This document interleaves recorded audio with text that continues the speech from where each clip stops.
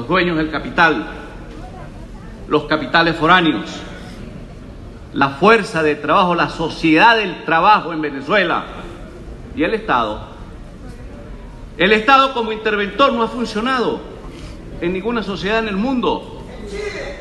Y allí tienen ustedes el tema de China, el tema de Rusia, que son dos grandes socios de ese proyecto fracasado que hoy vive el país.